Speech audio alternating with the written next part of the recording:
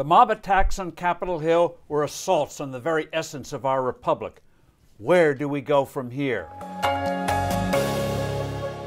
Hello, I'm Steve Forbes, and this is What's Ahead, where you get insights you need to better navigate these turbulent times. The shocking, sickening events of January 6 on Capitol Hill underscore several significant points. First, violence from whatever the quarter, whatever the provocation, is wrong. Period.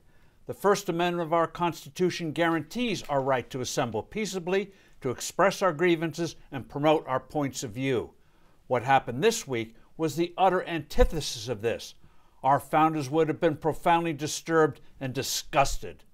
Second, the Constitution provides the peaceful means for attaining and transferring political power. These must be respected now and forever.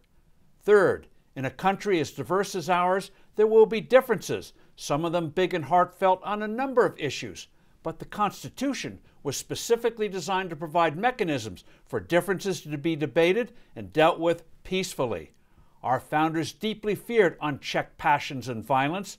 They wanted a system where laws were regarded as legitimately made, even if you might not like a particular outcome.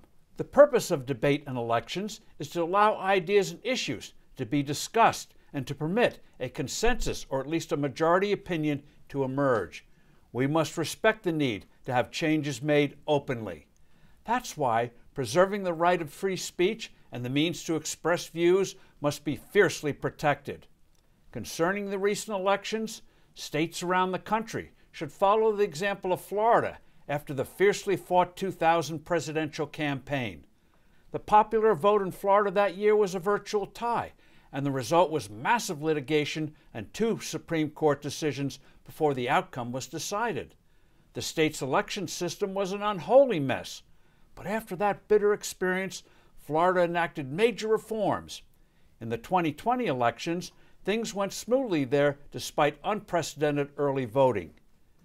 A major part of this effort should be able to once again have as much voting take place as possible on election day itself.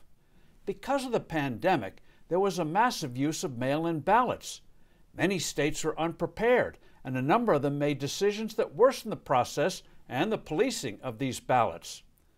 What was stunning about the Trump campaign was his decision not to closely monitor rule changes in states before the election and have teams of lawyers on hand during the campaign and on election day itself to deal with any possible adverse decisions or outright irregularities.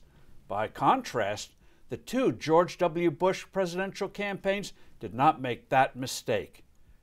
We can take heart that despite the horrible events of this week, the Constitution prevailed over the mob. Congress went ahead with the official confirmation of the election of Joe Biden as our next president. I'm Steve Forbes. Thank you for listening. Do send in your comments and suggestions. I look forward to being with you soon again.